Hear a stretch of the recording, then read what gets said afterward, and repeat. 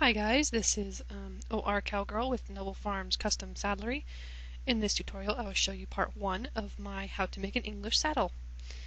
This is the latest saddle I've finished. Um, it's pretty simple, um, but you know, it's kind of hard. So first, you'll want to start out with the pattern and your tree.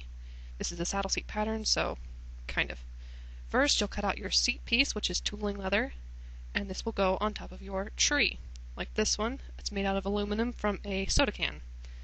So you'll glue the leather onto the tree, and then you will take the pattern piece for the skiver cover and cut it out of your skiver. First, you will try, trace it onto it with a ballpoint pen. Easy. Then you'll cut it out with your X-Acto knife. And I like to use um, Fiebing's dye for my stuff. This is the uh, USMC Black and some Fiebing's Tan Kote. So get out your wool dauber and put some of that black dye on the skiver piece to go over the seat.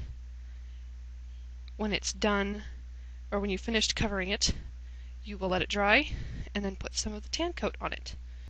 Once the finish is dry and is no longer sticky to the touch, you can um, take it, here's the tree and the seat piece, and um, you'll want to put a little bit of glue on the seat of the saddle, just all over everywhere, like this.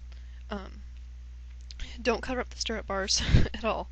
So you want to press the seat piece onto the tree of the saddle, and then once it's dry, you can take some um, gum tragacanth, which it basically just makes the leather kind of soft and supple, and you want to take your fingernail and run it around the edge of the back of the tree so it's kind of indented, and then wrap it around until it looks like this. So it should be kind of, you know, molding to the shape of the tree now.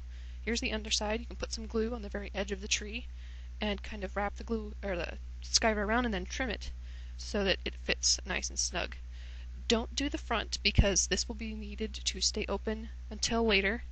And then there you go. There's your finished saddle tree.